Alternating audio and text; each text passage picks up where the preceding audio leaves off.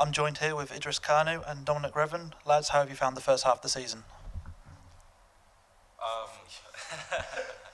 um, I found it really good. It's been um, it's been much better than what I've been used to, like the past couple of months, not playing around and not stuff like that. But other than that, it's been it's been great playing playing 90 minutes and like just trying to just be involved in the winning mentality. You know. Um, yeah, I'd say for me personally, it's been a up and down first part of the season for me, in and out of the team due to injuries. But I think as a group, we've done really well this season.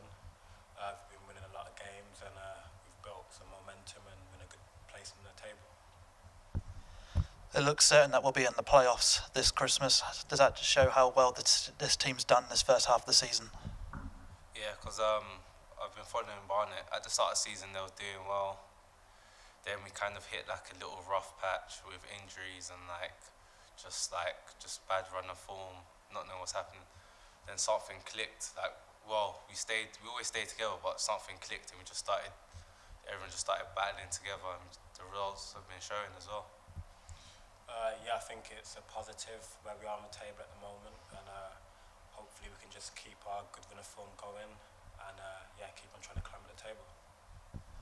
We've had a number of games called off this week. As, as for a footballer, does that disrupt you a lot, or do you prefer having more, more time to recover? Um, it's a weird one because sometimes, even when you're sore, like you just want to keep on playing just so you don't get out of rhythm. But then sometimes it's like it's a good thing because you get a couple extra days to rest and to reset the body.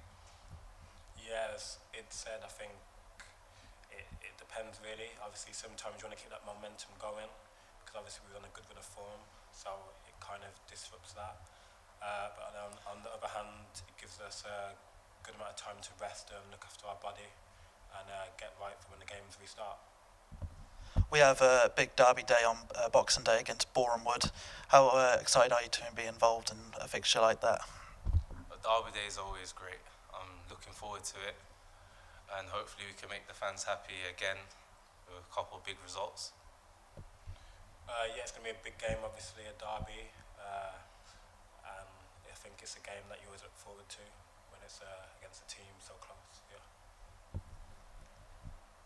Uh, what has been your highlight of the season so far for you two? Ooh, personally, it's probably